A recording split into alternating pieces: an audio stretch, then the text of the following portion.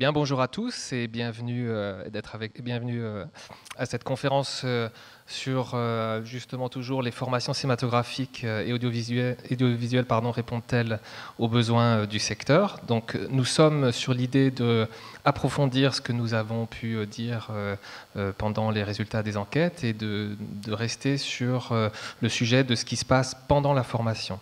Donc j'ai le plaisir d'accueillir un ensemble d'intervenants. Je vais vous les présenter. Donc euh, en commençant par Guillaume Pantier, qui est diplômé Bonjour, qui est diplômé euh, de licence cinéma à l'université Paris 8 Vincennes. Tout à fait. Donc euh, Renaud Jungmann, directeur et fondateur de VFX Workshop, établissement d'enseignement euh, supérieur privé axé sur les effets spéciaux, la 3D et le temps réel. Bonjour. Bonjour. Nathalie Cosserdan, directrice générale de la FEMIS, École nationale supérieure des métiers de l'image et du son. Bonjour. Donc Agnès Biard, euh, bonjour, responsable Bonjour. des bachelors cinéma d'animation à l'école euh, des Gobelins. Et donc euh, le cursus bachelor, ce sont des formations pour baccalauréat et euh, d'une durée de trois ans. C'est Oui, accessible directement après un bac et pour trois ans. Très bien. Euh, Charles Bussienne, bonjour. Bonjour. Directeur technique en charge du recrutement chez Polisson, donc une entreprise de post-production euh, image et son. Oui, absolument. Et euh, enfin, Paul Berardi, diplômé double cursus euh, bachelor cinéma et audiovisuel, euh, bachelor ingénieur sonore, auprès des ateliers de l'image et du son, situés à Marseille. Bonjour. Image, pas sonore. Image, passons. Ah bah voilà. Spécialisation. Très bien, je vous remercie. Donc je voulais revenir avec vous sur euh, déjà l'en- l'ensemble des résultats qu'on a eus sur l'enquête. Et là, l'une des premières choses qui nous a euh, touchés, c'est déjà euh, que la plupart des, euh, des sondés qui ont répondu, notamment chez les étudiants, sont des femmes, à 57%. Et je voulais savoir, pour vous, est-ce que vous voyez cette évolution, justement, ce rééquilibrage qui se fait dans l'ensemble des écoles?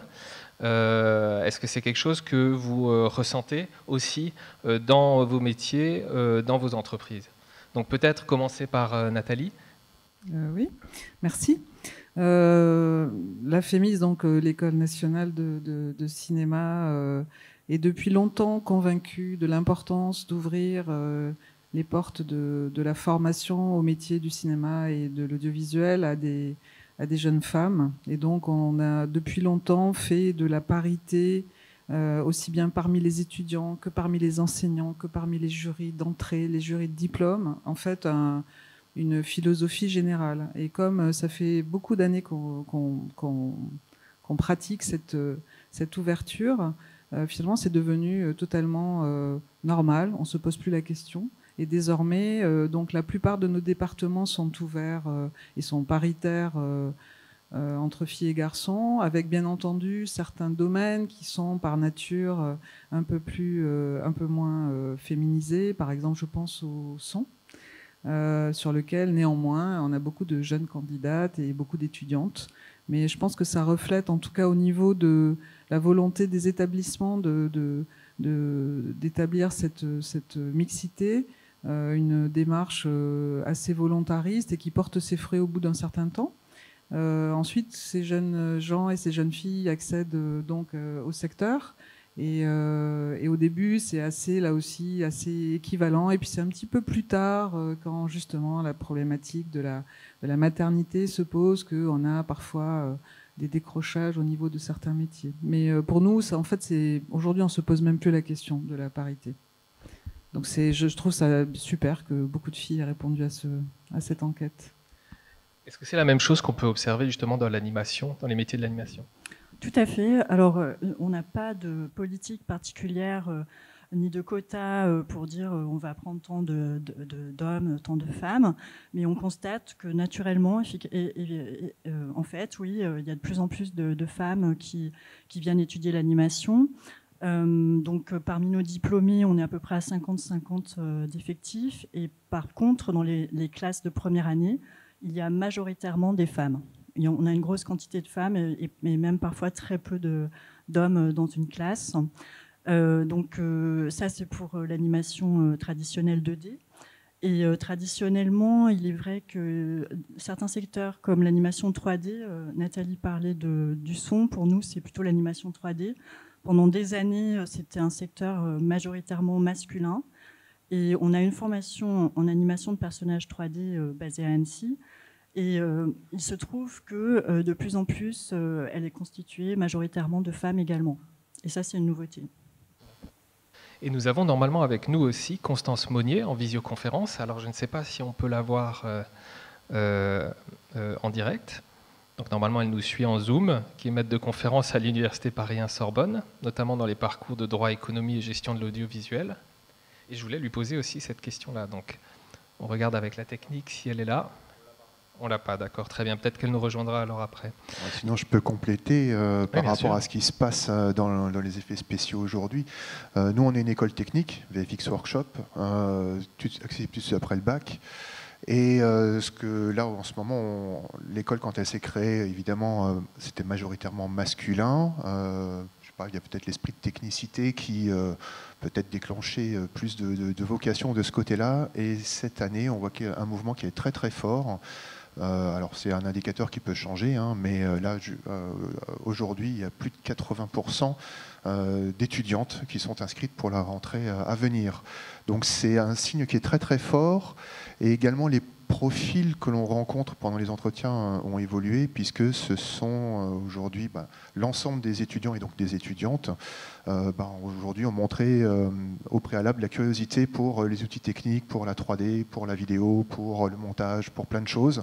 Et elles ont déjà une expérience personnelle soit parce qu'elles ont développé une pratique, soit parce que lors du bac, elles ont pu avoir accès à des options audiovisuelles, soit euh, parce qu'elles ont euh, développé une première étape dans un cursus, euh, souvent dans, une école publique, un cursus type licence. Voilà.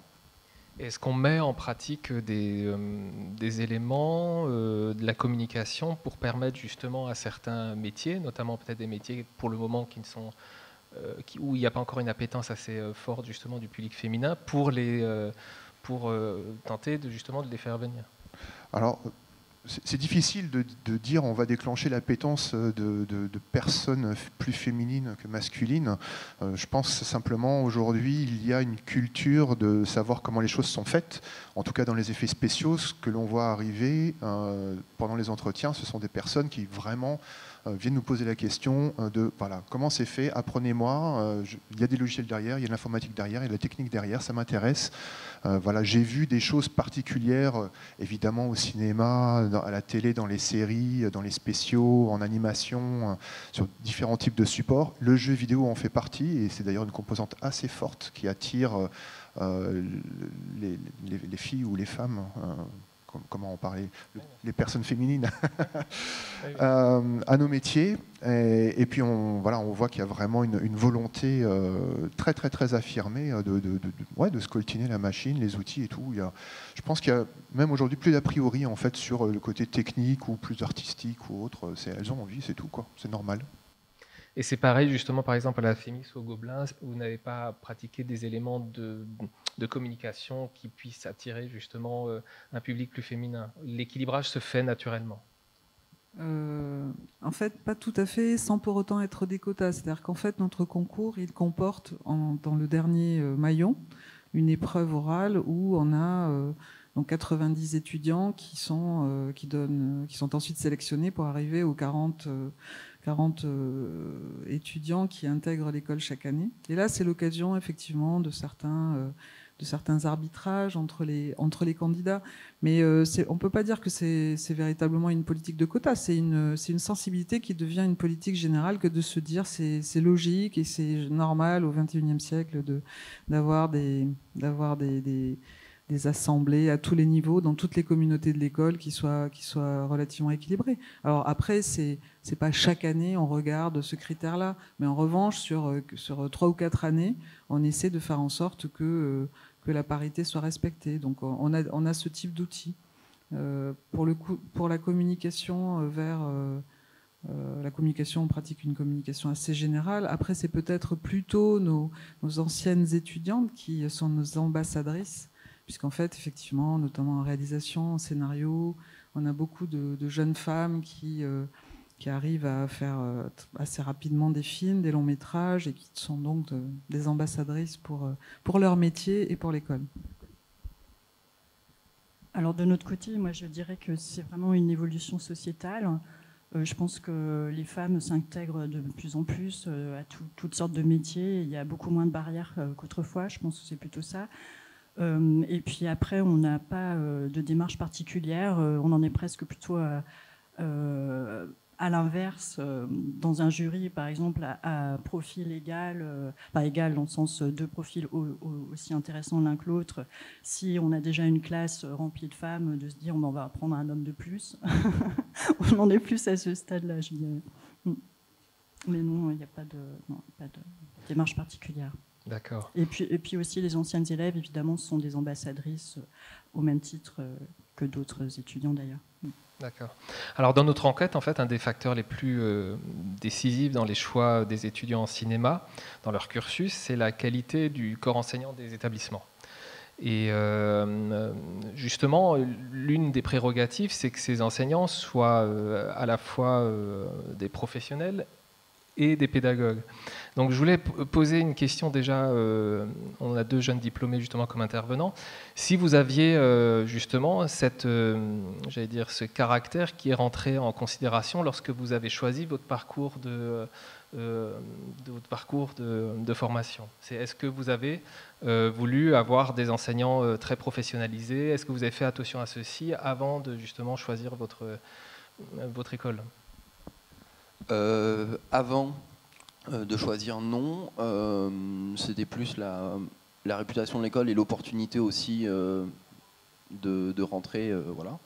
Mais, mais, par contre, c'est pour ça, je pense que je suis resté, en tout cas pour ma part. C'est justement aussi le, fait d'être tombé sur des équipes pédagogiques et aussi des gens du secteur, que ce soit en intervenant ou en, ou dans les étudiants, les anciens étudiants, etc., les encadrants, euh, qui pour le coup voilà, euh, sont motivants, tout simplement, euh, de par l'expérience qu'ils apportent et, le, et le côté pédagogue rentre en compte, mais peut-être un peu moins, en tout cas moins dans le temps, dans le sens où à partir du moment, je pense, des premiers stages de fin de première année, etc., on a aussi, euh, enfin, on peut avoir aussi une démarche de prendre ce qu'il y a à prendre et de, de par les spécialisations, etc., aussi de, voilà, de, faire un peu le, pas le tri, c'est, c'est pas le mot, mais voilà, de, prendre ce qu'il y a à prendre et de,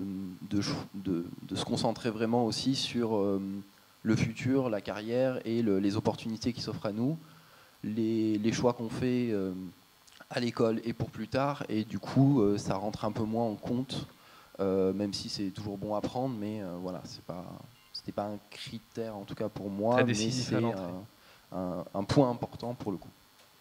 Et pour vous, Guillaume, est-ce que ça a été important? Moi, c'est un petit peu comme comme Paolo. En fait, c'était pas un critère. C'était pas un critère pour mon choix. Mais effectivement, du coup, c'était plutôt une bonne surprise d'avoir des, des intervenants de, de qualité, qui sont dans, le métier, des producteurs, des scénaristes, euh, qui sont toujours de bons conseils et euh, qui peuvent euh, même devenir des, contacts pour de, futures collaborations et, et, pour nous donner des, avis sur, même sur nos, nos, travail en fait.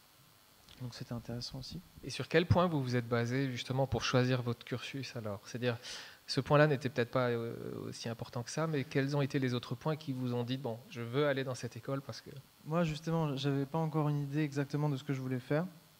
Donc l'avantage de l'université, c'est que c'est très diversifié. On a un peu une, approche de tous les métiers, et c'est ça que je voulais vraiment, c'était euh, avoir une approche plus euh, plus précise, même si c'est une approche très théorique, mais au moins avoir une idée un peu plus sur chaque métier pour ensuite euh, choisir en fait. Et de votre côté euh, Moi, il y avait, euh, pour, enfin, j'avais fait des études théoriques avant, classe préparatoire ciné et fac, et du coup, il y avait, on va dire, la volonté première déjà de plus rester derrière un bureau et de vraiment mettre la main dans le cambouis et de faire des projets, faire des choses, et donc d'avoir ce côté très technique et, et très sur le plateau, vraiment avoir une expérience quelle qu'elle soit, mais en sortant de l'école, vraiment, euh, euh, voilà, c'était important pour moi. Et euh, Du coup, ça s'est fait aussi sur le, la façon dont ils ont de communiquer, tout simplement, où ils mettaient aussi en avant le, fait d'avoir une formation assez globale, avoir des choses très techniques et une découverte aussi de beaucoup de corps de métiers différents. en première année, voilà, on a autant du son, de la post-production, effets spéciaux, réalisation, images, etc. Euh, mais aussi euh, tout un, comment dire, un, truc de à côté sur, au niveau culturel, euh, sur l'histoire de l'art, le théâtre, etc. Et je pense que c'est aujourd'hui très important quand on se lance dans ces métiers qui se veulent aussi créatifs d'avoir cette ouverture d'esprit qui est mise en avant. on peut enseigner le côté artisanal et ça peut être un critère, mais ça peut, on va dire, il y a quelque chose de très factuel là-dedans. Mais voilà, c'est cette ce, côté créatif et tout. En tout cas, moi, ça me parlait de la façon dont, euh, dont ils mettaient ça en avant, tout simplement. Donc Nathalie Cosserdan, euh, Renaud Youngman et Agnès Billard, comment, vous, comment les, écoles, comment vos établissements euh, recrutent-elles en fait leurs enseignants? C'est sur quels critères? Qu'est-ce qui rentre en considération? Peut-être Renaud commencer pour débat. Oui, alors en, ce qui nous concerne à VFX Workshop, c'est un peu particulier parce que le, d'abord l'école elle est jeune, euh, et puis surtout, on a voulu développer une, nouvelle pédagogie qui, par rapport aux, écoles d'animation traditionnelles, puisque on est dans le champ de l'infographie 3D, donc souvent on nous compare à des écoles d'animation traditionnelles, euh, ces écoles d'animation traditionnelles elles développent une approche à appliquer. Euh, ce qui est très bien, ce qui a servi son temps, c'est ce qui a fait aussi la réputation des écoles en France, ce travail artistique et technique mélangé. Euh, et, on voulait répondre euh, à une question qui était très simple, hein, qui était euh, celle des professionnels qui voulaient, voilà, qui, ne cherchaient pas des gens qui avaient des velléités artistiques à la base, mais plutôt des techniciens qui étaient capables de fabriquer les choses qu'ils cherchent à fabriquer tous les jours. donc, ben, évidemment, j'ai plus de 25 ans aujourd'hui dans le milieu professionnel, un réseau d'alumni monstrueux, et puis bien sûr un réseau de studios ben, voilà, qui est aujourd'hui international. Euh, donc pour recruter, pour moi, pour moi c'est le réseau. C'est j'interroge les personnes qui sont autour de moi, euh, je leur pose des questions. Euh, en fonction de la réponse qui est apportée, ben, je leur demande s'ils veulent participer à, l'enseignement. Donc venir donner cours, ou au moins qu'on puisse travailler sur leurs idées. Et c'est une relation qui se fait au, quotidien. Donc aujourd'hui, pour moi, c'est assez naturel aussi, puisque je continue à avoir un contact très fort avec voilà, plus de 1600 élèves que j'ai pu former en, 25 ans. Ça fait euh, une personne sur six qui travaille dans le secteur euh, de, la 3D des effets spéciaux en France. Euh, donc naturellement, je, voilà, je travaille avec, avec ces contacts-là. Et puis de toute façon, les, comme on échange, ils, me tiennent au courant de ce qu'ils font, etc. Il y a aussi des opportunités qui font que, bon, voilà, tiens, le casting, il peut être bien fait dans, dans, dans ce sens-là. Donc, il n'y a que quelques métiers où c'est plus compliqué de de, enfin, des spécialités où c'est plus compliqué d'avoir les bons profs parce qu'il y a un vrai problème de disponibilité. Euh, parce que, ben, évidemment, dans, des métiers qui sont un petit peu jeunes comme ceux de la 3D, des effets spéciaux, et notamment sur des, spécialités un petit peu poussées, euh, bah les studios, euh, ils ont du mal à se dégarnir, ne serait-ce que trois heures par semaine, de quelqu'un qui vient intervenir dans, dans une école. alors au début, ces sociétés, elles hésitent. Et puis, euh, puis après, quand on arrive à les convaincre, quand ils font l'expérience, euh, voilà, quand ils voient que finalement c'est pas très compliqué, qu'éventuellement la, personne, alors je trouve que c'est un petit peu difficile pour la personne, mais elle, vient compenser aussi ses heures, donc euh, pour éviter que le studio soit privé de ses heures de production, elle, peut venir chez nous. Et donc, bah, si la personne après se sent bien, ça se passe super bien et on, fait un, vrai gros parcours dans le temps. Et là, on construit une pédagogie qui est, qui est super forte. Voilà. Mais le recrutement, c'est vraiment déjà, on essaie de, avec le dialogue, euh, bah, de trouver des personnes qui sont en phase avec euh, la projection pédagogique et puis euh, d'essayer de, voilà, de construire quelque chose avec ce qu'elle entrevoit comme possibilité d'enseignement, d'apporter à la profession. Donc l'école devient vraiment un, outil aujourd'hui pour, ben, pour des, certains studios pour venir aider à, à former à certains métiers. Euh, donc en fait, nous, on a différentes catégories d'intervenants à l'école. Donc tous professionnels en activité, c'est vraiment une spécificité de, de l'école que de souhaiter ne pas avoir de professeur permanent, histoire d'être ouvert à, à, la fois à, l'évolution euh, du cinéma et des séries euh, et de pouvoir justement régulièrement changer et d'autre part d'être le reste, d'accueillir toutes les familles du cinéma, ça, pas avoir d'idées reçues sur euh, tel ou tel, euh, tel ou tel genre, d'être assez ouvert. Donc ça, c'est le prérequis. Ensuite, donc, on a deux catégories d'intervenants. D'une part, ce qu'on appelle les directeurs et directrices de département. Vous voyez, je féminise le terme. Euh, qui sont en fait ceux qui sont 24, et en fait, ce sont ceux qui nous accompagnent dans l'élaboration des maquettes pédagogiques, des grilles de programme.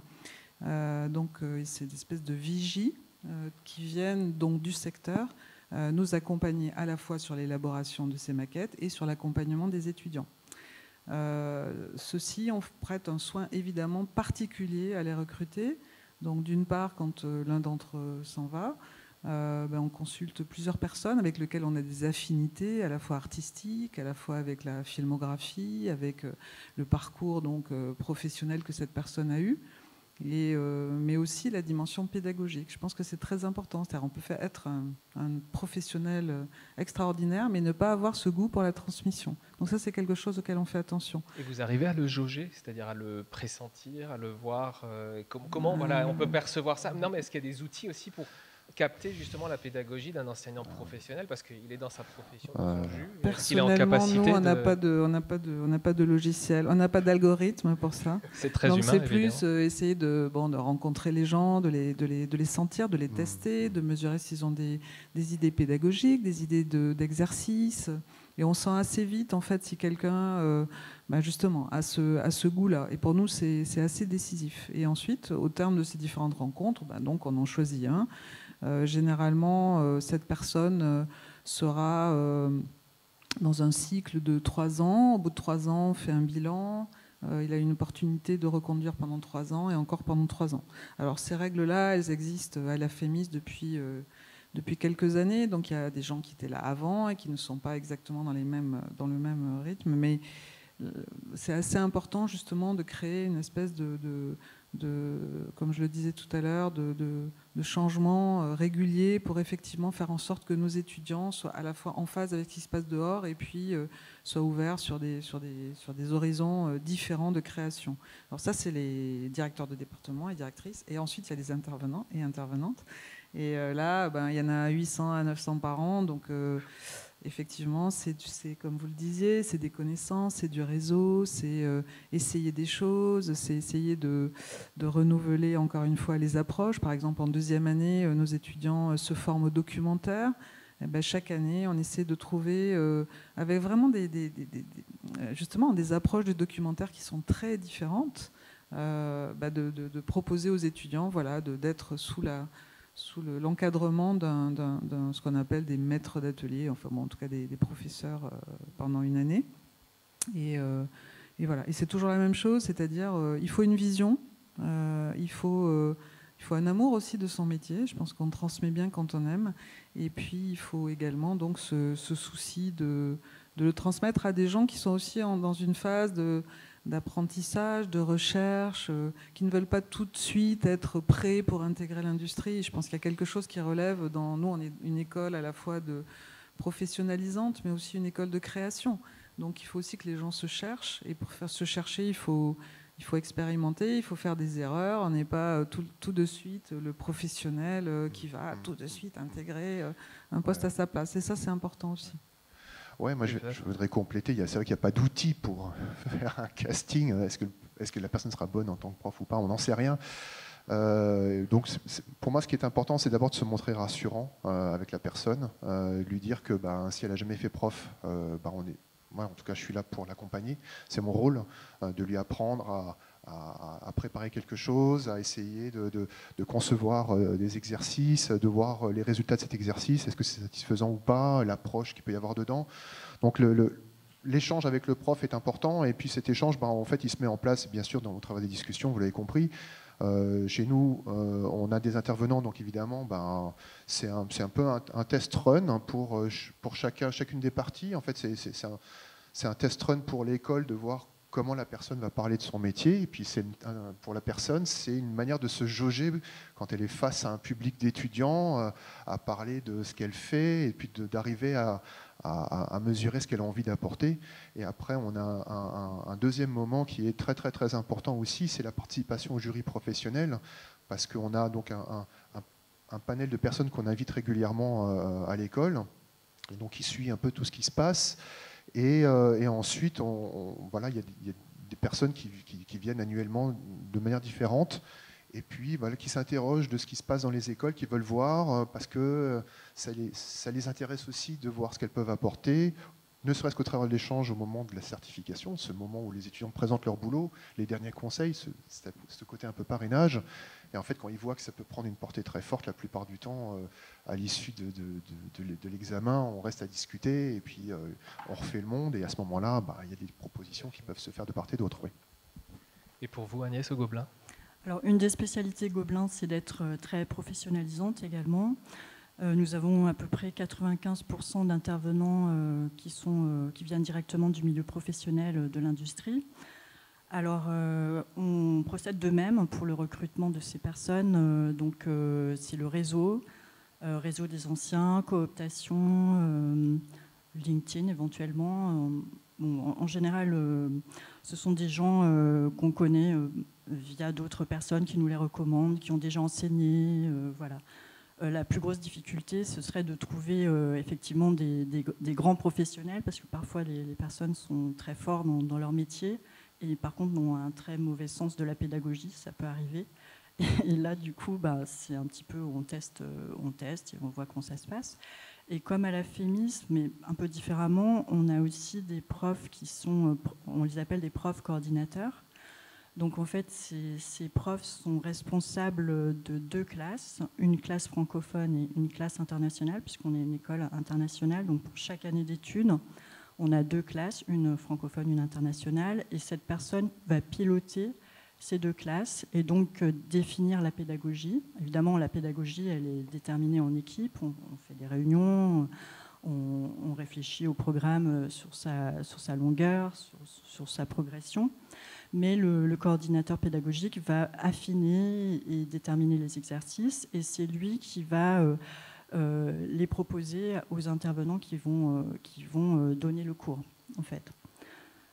voilà, est-ce que j'ai oublié de répondre à une question? Non, non, non, pas du tout, au contraire. Et puis, effectivement, si on parlait du jury, on a également un jury professionnel avec des, personnes de l'industrie, des, des, réalisateurs ou des producteurs, enfin des, gens de tous les domaines qui interviennent et on a aussi un parrain euh, ou une marraine euh, de promo chaque année et on essaie de trouver une personne euh, qui a une certaine réputation. L'année dernière, on a eu Marjane Setrapi. Cette année, on a Tom Moore, on a eu Guillermo del Toro, Peter Lord. Donc ça aussi, ça fait partie de, de, enfin, de l'encadrement en fait. Et justement, on accueille Constance Monnier aussi, qu'on peut, voir justement euh, en, visioconférence derrière nous. Donc euh, bonjour Constance. Euh, peut-être vous voulez rebondir justement sur cette question qui est justement comment se fait le choix des, enseignants et donc là, principalement à, à l'université? Ah, je crois que les problèmes techniques sont là. Il y a une petite coupure de faisceau. Oui, Constance. Non, on ne vous entend pas, Constance, pour le moment. On ne vous entend pas. Peut-être on va revenir vers vous, Constance, juste un peu après, dès qu'on a, le son. Et eh oui, bien sûr, c'est toujours comme ça. Donc j'avais une question pour, euh, Charles. Euh, justement, on se rend compte aussi euh, là-dessus que dans, notre, enquête, les professionnels ne se sentent pas j'allais dire, euh, euh, intéressés par les établissements dans leur pédagogie et dans l'ensemble des programmes pédagogiques. Est-ce que, c'est déjà, est-ce que vous, vous avez déjà participé à ce type de choses Et est-ce que c'est quelque chose entre professionnels dont vous parlez ou Alors qui moi, vous intéresse C'est pas tout à fait le cas pour nous à Polisson. Donc nous, on est juste pour remettre en contexte, nous on est une entreprise, donc on est prestataire euh, dans le, cinéma, euh, pour le son et pour l'image. On est une entreprise qui fait 19 salariés. voilà. bah, écoutez, moi, nous en tout cas, ça nous est arrivé de nous retrouver consultés vis-à-vis d'étudiants. et donc, vis-à-vis du, corps enseignant pour savoir où en étaient les étudiants, quels étaient leur, quel était leur niveau, leur, leur façon de finalement d'aborder le monde de notre entreprise. Et, euh, en fait, nous, on, a eu cette expérience-là d'échange avec, euh, avec, euh, avec une équipe pédagogique. Et je peux même vous dire que, que ça a plutôt donné des, résultats assez intéressants, parce qu'on a vraiment l'impression que, que nos recommandations étaient prises en compte. Alors, c'est pas arrivé avec beaucoup d'établissements, c'est arrivé avec un établissement en particulier, mais, mais moi, j'ai l'impression, en tout cas, pour des BTS, euh, ce genre de choses, que de plus en plus, on a quand même des équipes d'enseignants qui viennent euh, nous voir. C'est pas évident de, prendre du temps à discuter avec eux, parce que souvent très pris, etc. etc. Mais, mais voilà, c'est toujours un échange assez, assez enrichissant. Donc, non, moi, je, je, trouve que malgré tout, l'échange a lieu sur ce terrain-là. Je ne me sens pas représenté par les résultats de l'enquête. Euh, et, justement, dans l'ensemble des établissements, euh, est-ce que vous faites participer euh, les entreprises qui vont être les futurs embaucheurs des, diplômés dans les programmes et dans la pédagogie? Est-ce qu'ils font partie justement des, équations dans vos établissements? Oui, alors, on ne fait pas un, tour de table de toutes les entreprises tous les ans, c'est impossible. D'abord, nous, on est une toute petite école, on n'a pas ces moyens-là. Euh, je le fais parce que ben, je les connais encore une fois. Donc c'est un peu, c'est d'abord beaucoup de discussions informelles, c'est beaucoup de prise de température. Euh, et puis c'est de voir aussi euh, les enseignants qui sont des professionnels, de voir comment ils enseignent dans leur domaine. après, le boulot d'un responsable pédagogique ou d'un directeur d'école, ce qui est mon cas, c'est d'essayer de comprendre à un moment donné, d'observer un peu où, où, le secteur, où les studios vont ce vers quoi ils tendent. Euh, moi, j'ai toujours été intéressé, euh, j'étais geek de plein de trucs. Euh, voilà, donc les, salons, les conférences, je fais partie du comité, pédagogique, du comité de pilotage du PIDS. Donc, on se pose la question de qu'est-ce qui va se passer. voilà, l'école fait aussi partie de France VFX aujourd'hui. voilà, le syndicat des, des, des sociétés productrices d'effets spéciaux. donc, c'est la seule école d'ailleurs qui est dans ce domaine. Euh, représenté là-dedans. Et évidemment, on se pose des questions. Donc, c'est à chaque fois qu'on a une relation, voilà, euh, c'est pas, plus tard que, vendredi dernier. Euh, voilà, j'étais avec Olivier Emery qui revenait d'une présentation qui avait eu lieu lors de, des conférences organisées pour le Paris Image. au Parc Floral, voilà, il est, il, est, revenu excité en me disant voilà, il faut faire ça, il faut aller dans cette direction-là. Donc Maintenant, c'est à moi d'écouter, de prendre en compte, d'organiser les choses. Euh, il y a des choses sur lesquelles on va pouvoir se montrer réactif parce qu'on est une petite école. Et, euh, voilà. Après, quand on a monté l'école, euh, moi ça s'est fait après 16 ans de bons et loyaux services dans une autre école privée qui a été rachetée par un fonds de pension américain. Ben, quand je me suis retrouvé euh, à, cogiter à la suite, euh, ben, moi j'ai fait le tour de tous mes partenaires. J'ai fait le tour des gens. Je suis allé voir euh, McGufflin, je suis allé voir Cube Creative, je suis allé voir des gens de Buff, de Micros, Supermonks, etc. Et puis, évidemment, ils m'ont dit, bon, bah voilà, Renaud, ce que tu faisais avant, c'était bien, donc maintenant, tu n'as plus l'étiquette de ton école, maintenant, voilà ce qu'on veut. voilà le rapport de Jean Gaillard, voilà le rapport de la CPNEFAV, regarde ce qu'ils écrivent dedans, voilà ce qui se passe, regarde, regarde dans nos studios, regarde ce que font les gens. Euh, voilà. Et puis quand on se prend, euh, tout d'un coup, moi je me suis pris euh, ouais, des, des, des, des, conseils, mais vraiment très forts. Hein. C'était vraiment en termes de leçons sur ce qui était attendu. pour moi, c'était des directives à suivre avant tout. Donc bah, après, maintenant, c'est mon travail d'organiser ce que l'on fait à VFX Workshop, d'avoir organisé ce qui se passe. Donc le, après, c'est chaque école, en fonction de son échelle, peut organiser les choses différemment. Je suis sur le terrain, on est une petite école, j'ai 20 profs, 61 euh, élèves aujourd'hui. Euh, c'est du sur-mesure, quoi. Donc euh, cet échange, pour moi, c'est du pain béni parce que bah, c'est une température au quotidien de ce qui se passe. Oui, peut-être Nathalie. nous, ça, fonctionne à la fois un peu pareil et un peu différemment. C'est-à-dire que les, les, professionnels, ils sont finalement présents à tous les stades de, l'évolution de nos étudiants. Ils sont présents à l'entrée. En particulier, il faut comprendre que l'école en tant que telle ne choisit pas les étudiants de la FEMI, c'est-à-dire que le jury final est composé uniquement de professionnels qui donc évalue ces, ces, candidats à l'école et qui rentrent ensuite. Après, les jurys de sortie sont exclusivement composés de professionnels qui donc procèdent à l'évaluation à leur point d'arrivée de, nos étudiants, aussi bien en scénario, en montage, en son, dans, toutes les disciplines.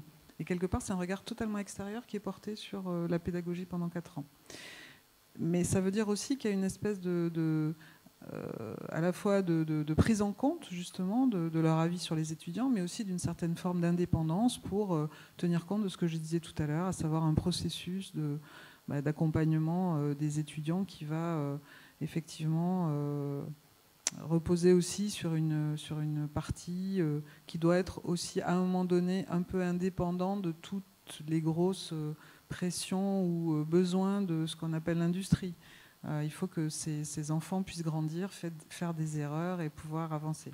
Et alors, donc ça, c'est pour ce qui relève de l'évaluation des étudiants. Puis il y a aussi ce qui se passe en stage, c'est-à-dire qu'en fait, les, les, entreprises qui accueillent nos étudiants en stage nous font évidemment des retours sur, sur leur passage.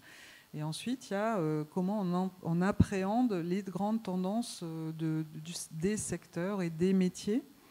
Et là, ben, il y a un nombre de, choses innombrables pour appréhender ça. Il y a évidemment euh, des discussions plus ou moins formalisées, il y a, l'accès à des études, il y a, et il y a d'autre part, de temps en temps, oui,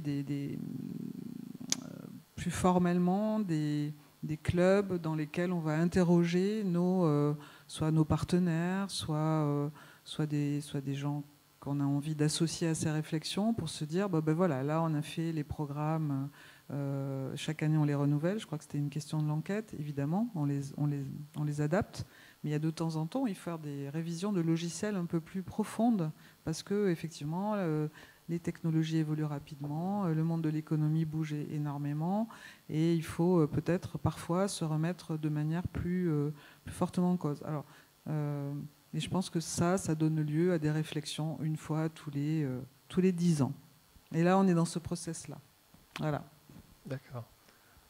Agnès, justement, au niveau des gobelins Alors, contrairement euh, aux résultats de l'enquête, nous, on a l'impression euh, d'être pas mal à l'écoute euh, des professionnels. D'accord, bah, c'est les professionnels qui disent, en fait. Peut-être que c'est une, auto-satisfaction, je ne sais pas. Mais bon, le fait d'être en contact permanent avec des professionnels, bah, déjà nos intervenants, mais aussi on, organise des speed recruiting. et mine de rien, ça permet d'échanger effectivement aussi pour tout ce qui est retour de stage. les, les étudiants, généralement, nous nous disent ce qui s'est passé en studio et puis on peut échanger avec les, responsables, les, mentors euh, durant les, stages. Donc tous ces retours nous permettent de, constater si on, si on, est en décalage ou pas et de voir ce qu'on peut adapter euh, pour la, promo d'après en fait. Et puis, euh, bah, je sais qu'au cours de, de, ces dernières années, il y a eu une période à Gobelin où, par exemple, il y avait plus de 3D. On faisait plus d'animation 3D. En ce moment, on fait plus d'animation 2D. On va aussi euh, sur les salons, euh, enfin, ou les, congrès, les colloques, dans certaines euh, manifestations où il y a des échanges entre professionnels. Là, en ce moment, la, question du temps réel se pose pas mal. Donc, on est à l'écoute, on, essaie de, voir ce qu'on peut faire à ce niveau-là. Constance Monnier, je crois qu'on vous a cette fois-ci, et j'espère que vous nous entendez et qu'on peut vous entendre. Moi, je vous entends très ah, bien. Ben, c'est parfait, super. Ah, nous aussi, on vous entend très bien. Ben, en tout cas, enchanté et ravi de vous avoir euh, avec nous. Merci, merci. je suis ravie aussi. Donc, maître de euh, conférence à Paris Premier. Oui, euh, alors c'est vrai que je m'occupe en partie de la licence. On a une licence gestion cinéma. Moi, je suis économiste. et on a aussi des masters d'administration, gestion, droit de l'audiovisuel et du cinéma à Paris 1. Mhm. Euh, donc, je dirais que moi, j'ai un regard qui est un petit peu moins sur l'aspect créatif, mais c'est aussi intéressant euh, d'échanger euh, là-dessus, puisqu'on forme plutôt des, gestionnaires, des administrateurs, des juristes du, cinéma. En tout cas, pour ma partie, pour les UFR que, dans lequel, dans lequel j'enseigne. Mhm. Je dirais qu'au niveau des intervenants, on a des, peut-être plus que dans les écoles privées euh, des enseignants professionnels, des titulaires pour euh, la moitié d'entre eux de l'effectif euh, pédagogique et un petit peu plus dans les licences. Alors, ce sont des enseignants professionnels qui sont en revanche souvent assez actifs dans le secteur de l'audiovisuel ou du cinéma. Donc, ils interviennent, ils sont enseignants, ils font de la recherche sur ces secteurs, mais ils font aussi, souvent, ils interviennent soit à l'autorité de la concurrence sur des cas cinéma audiovisuel auprès du CSA, du CNC, du ministère, sur des, enquêtes au niveau de l'Union européenne, hein. que ce soit en, droit de la propriété intellectuelle, en économie de la concurrence relative à ces secteurs, en marketing du cinéma, gestion, euh, tout ce qui est aussi vente pour les espaces publicitaires pour la, télévision. Euh, donc on a ces professionnels, mais qui, sont, euh, qui ont aussi, je dirais, une pratique qui ont tous, euh, c'est pardon, ces enseignants, hein, qui ont tous souvent en plus hein, une pratique professionnelle, en tout cas qui sont insérés dans, dans ce secteur. On a évidemment des professionnels et on a deux types de professionnels à l'université. On a des professionnels qui assurent des cours et des évaluations. Donc là, je rejoins euh, mes confrères et mes collègues d'autres d'autres institutions. ont choisi des professionnels qui ont une appétence pour la pédagogie. Donc qui aiment assurer des cours parce qu'il y a un volume horaire qui peut être contraignant, on peut avoir des suivis de, mémoire ou de projets, euh, on a euh, une évaluation, euh, donc c'est des professionnels qu'on connaît depuis longtemps ou qui nous ont été recommandés, et on trouve effectivement des, des, professionnels très compétents qui souvent ont aussi un attachement, je dirais, un petit peu affectif au diplôme quand ce sont des anciens élèves quand ils ont recruté d'anciens euh, diplômés euh, de ces masters, hein. le master notamment des deux A à Paris 1, qui effectivement il y a un, réseau assez bien constitué et ils, ont euh, effectivement cette politique aussi de, stage, de recrutement. Ça, ça fonctionne très bien. Et ensuite, comme mes confrères, on a des professionnels qui, font des interventions beaucoup plus ponctuelles. Et donc là, on a des petits déjeuners, des conférences, des parrains, c'est beaucoup moins contraignant, donc plus facile à trouver. Et ça permet euh, de balayer un certain nombre de, métiers, de secteurs. Euh, et euh, ça peut aussi permettre aux étudiants de, tester leur, leur, CV pour des recrutements de stage. Hein. On fait un petit déjeuner, on, leur demande toujours de venir avec, avec des CV pour éventuellement, pour ceux qui n'ont pas encore leur stage, trouver, trouver une voie. Donc, c'est important. Nous, euh, ce qu'on a peut-être effectivement euh, de plus, hein, c'est qu'on a à la fois les enseignants titulaires, donc on a des cours qui peuvent être quand même assez, euh, assez denses, assez, assez techniques. Hein. Et puis, on, a aussi ces, ces, professionnels qui sont indispensables parce que c'est un secteur dans lequel on s'aperçoit que même avec des, des, diplômes ou des étudiants brillants, il faut effectivement avoir, euh, avoir du réseau, et notamment pour les stages. Les stages, c'est très important. Ça, on en parlera justement du réseau. Euh, je dirais que l'expérience, l'expérience, il trouve, euh, il trouve vraiment après le stage, ou grâce au stage, ça passe par, par le stage. Donc il y a un réseau qui, est, vraiment très important. Je dirais le réseau que nous, on a avec les, professionnels, mais aussi, je dirais, leur réseau entre eux. Les diplômés, nous, on organise une, remise des diplômes. Là, on a eu la chance d'être au Théâtre du Châtelet on, invite euh, les diplômés des 3-4 années euh, antérieures, euh, les, majors, en plus des intervenants, des profs, des parrains, etc. La promo actuelle, celle de l'année dernière, parce que c'est eux qui reçoivent le diplôme. Et c'est vrai que c'est à ces occasions aussi qu'il peut avoir un diplômé de 3-4 ans, il y a 3-4 ans, qui va essayer de bien conseiller et d'orienter un de nos étudiants ou un étudiant qui vient d'être diplômé. Donc il y a ce réseau entre eux qui compte, euh, qui compte beaucoup. Bien sûr, celui des professionnels euh, plus expérimentés, c'est essentiel. Mais euh, c'est vrai qu'il y a beaucoup d'informations, de recherche d'informations, de, tuyaux qui se font aussi entre, entre jeunes diplômés ou jeunes actifs du secteur. la difficulté aussi qu'on a, effectivement, ça je partage il y a peut-être aussi cette partie d'un côté technique, euh, mais nous, pour tout ce qui est euh, gestion, réglementation, euh, financement, parce qu'il y a aussi tout le financement du cinéma, les Sofica, c'est aussi des, des, crédits d'impôt, des changements. là, on a vu aussi avec les, réformes d'investissement, des règles d'investissement, des changements réglementaires qui sont permanents, des changements d'organisation. donc là, il y a des actualisations pour les pour être vraiment à jour à la page, hein, qui, sont, qui sont permanentes. On a d'autres diplômes où ça peut être un peu plus stable, hein, les cours. C'est vrai que dans, ce secteur, on a une révision pédagogique qui se fait en permanence. Hein. Très bien. Même, euh, mmh. je dirais plus d'une fois par an, parce qu'il suffit qu'il y ait un décret qui soit passé ou un accord qui a été signé euh, avec Canal Plus la semaine d'avant. Euh, donc ça, on doit être tout le temps, tout le temps sur des modifications de l'environnement. D'accord. Agnès, vous voulez peut-être réagir En même temps, c'est hein, un secteur qui est, qui est en bouleversement, voilà, mmh, mmh. vraiment bouleversement ah. permanent.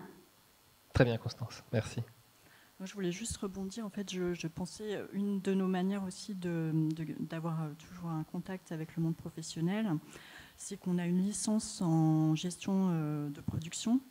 Et, du coup, nos élèves sont en apprentissage et ils sont dans des entreprises. Donc, forcément, on a une, je sais plus, ils sont une trentaine d'étudiants placés. Du coup, euh, on, peut facilement avoir un pied dans chaque entreprise où ils sont placés. Et puis, en plus, on a tous nos réseaux d'anciens euh, euh, alumni de, gestion de production qui travaillent dans les entreprises et qui nous recontactent pour, pour nous solliciter, pour proposer des stages. Et, ça, c'est pas mal. Ça, on y reviendra justement sur la professionnalisation, les formations professionnalisantes. J'avais une question aussi pour les étudiants. Est-ce que vous, vous vous sentez impliqué justement par des retours, par les établissements qui vont vers vous, euh, vers des retours d'expérience pour dire ben voilà ce qu'on a pensé de notre formation, euh, est-ce qu'il y a des enquêtes, euh, est-ce qu'il y a des choses qui permettent justement après aux établissements de, se rectifier, de se mettre à jour, d'améliorer leur, leur, pédagogie et leur programme? Moi par exemple je suis resté abonné à la liste de diffusion par mail de, ma licence. Ça me permet d'avoir du coup des, sondages comme, celui-ci que j'ai reçu dans, ma boîte mail et plein d'autres sondages et euh, de voir aussi un peu le programme, euh, comment ça évolue, euh, ce qui se passe. donc oui, donc, dans l'ensemble. Et peut-être pourquoi Moi, ils en font, mais bon, pour la blague, je l'ai reçu hier parce que je ne suis pas trop resté en contact avec eux et c'est quand ils ont vu que j'avais été là qu'ils m'ont envoyé des chiffres et les sondages. mais apparemment, du coup, ils le font. après, désolé.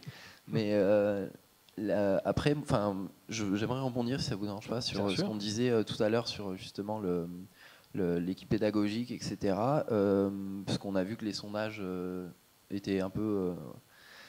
c'est plus une question ouverte. Mm. Est-ce que le fait, surtout quand on est dans des, des secteurs, ce que vous disiez, assez particulier quand même, c'est on est sur des choses très précises et donc on a quand même voilà, un réseau qui est assez spécifique.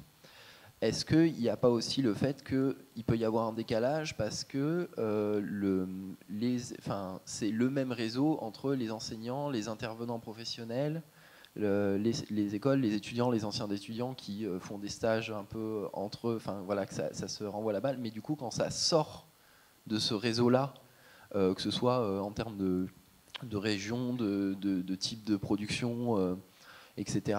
Euh, c'est là où on se retrouve avec des, écarts, soit de niveau, soit d'attente, soit de quoi que ce soit. Euh, typiquement, voilà, on a, il y a beaucoup, on parle beaucoup de, cinéma, de séries et de, fiction en général.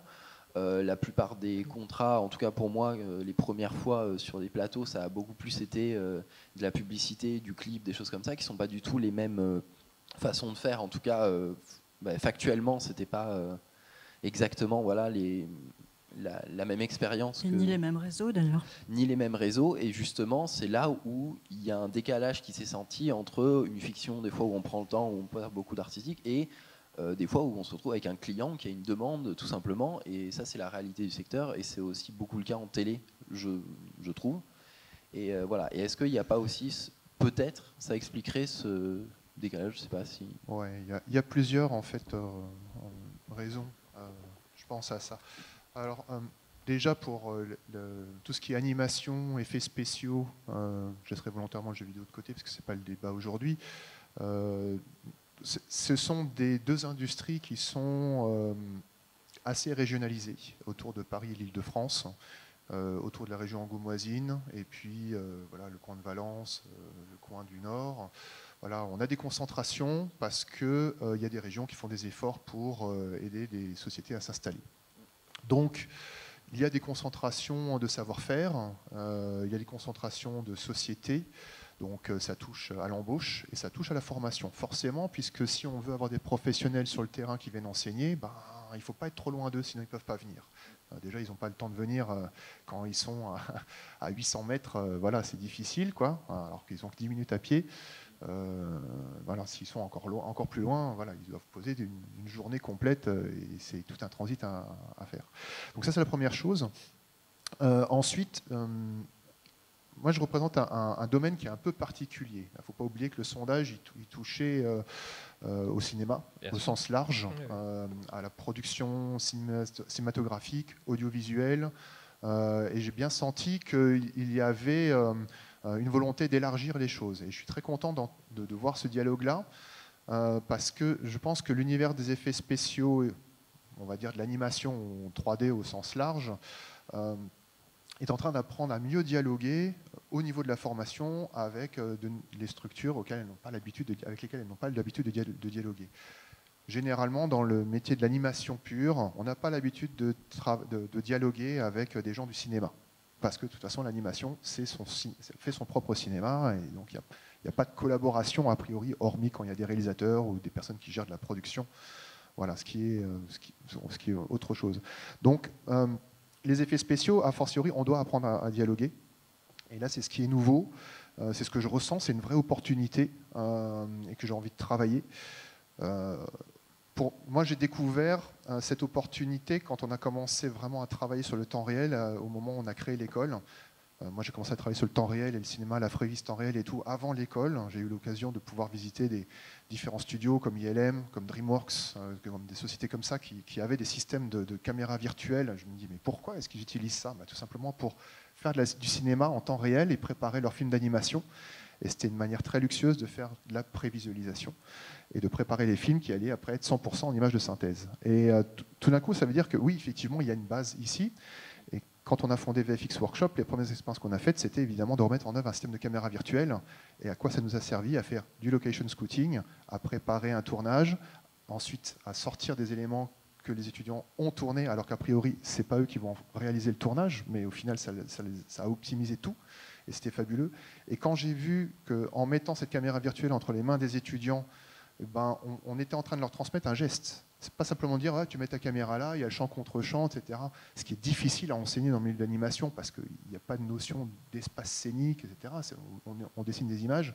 Et là, tout d'un coup, on se retrouve dans un espace virtuel à regarder la 3D et tout d'un coup à, essayer de faire un mouvement. Et puis j'ai vu à côté de moi Jerzy Cullard qui était en train de leur transmettre ça. Jerzy Cullard qui est quelqu'un qui vient du cinéma à l'origine, qui est passé par les effets spéciaux, qui est venu euh, participer à la création de l'école. Et je l'ai vu en réflexe auprès des étudiants en train de leur apprendre à manipuler cette caméra, à dire. Et il était, c'était magique parce qu'il était en train de leur faire baisser une caméra, comme une grue qui descend, voilà, ou une steady, euh, ou quelque chose qu'on, manipule à la main pour faire un certain mouvement avec un target, etc. Et ils l'ont fait 3, 4, 5 fois, et puis à un moment donné, il a fait Ouais, voilà Et, ce moment-là, je savais qu'il se passait un truc incroyable. Donc il y a une relation qui en train de s'établir aujourd'hui avec une nouvelle manière de, cinéma, de préparer le cinéma, de pouvoir impliquer des réalisateurs très tôt.